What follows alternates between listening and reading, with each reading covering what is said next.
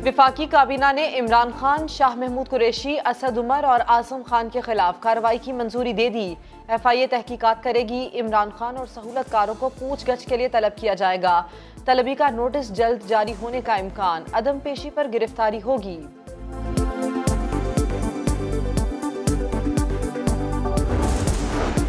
Cipher सिर्फ़ कागज़ का टुकड़ा नहीं, रियासत की अमानत है। कौमी अमानत में खयानत की गई।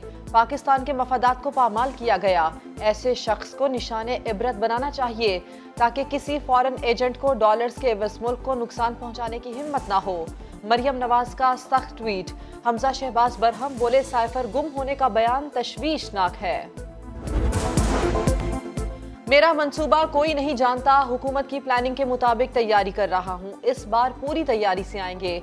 इमरान खान का टेक्सिला में जलसे से खिताब। बोले, साइफर गायब होने का ड्रामा किया जा रहा है। मरासले की मास्टर कॉपी वजारत खारजा में मौजूद है।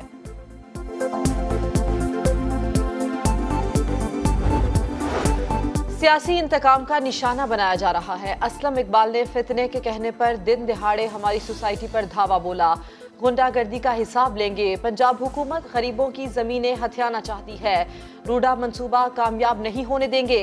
सबक M P A Shoaib Siddiqui ने प्रेस कॉन्फ्रेंस में पंजाब हुकूमत की गुंडागर्दी बेनकाब कर दी।